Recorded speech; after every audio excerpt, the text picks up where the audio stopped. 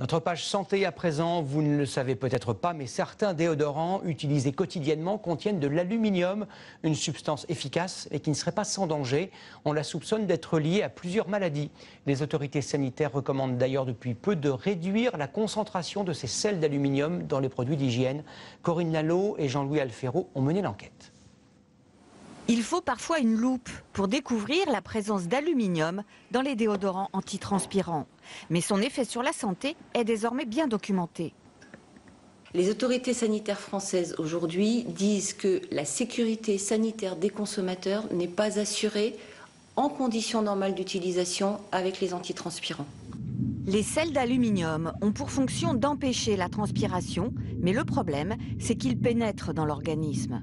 Ce sont les docteurs Guillard et Pinault qui l'ont démontré grâce à cette salle blanche de l'hôpital de Poitiers. La découverte s'est faite avec le cas d'une femme qui souffrait d'une grande fatigue sans savoir pourquoi.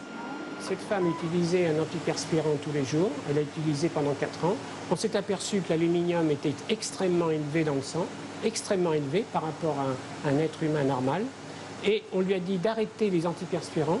Et à ce moment-là, à l'arrêt, eh on a vu que l'aluminium dans le sang diminuait, mais seulement a diminué seulement au bout de 8 mois. Une preuve irréfutable que cet aluminium dans le sang venait d'un antiperspirant. Il fallait ensuite comprendre comment se faisait le passage de l'aluminium. C'est cette peau humaine qui a servi pour l'expérimentation. Sur peau intacte, le passage était faible, mais sur peau épilée ou rasée, il était important.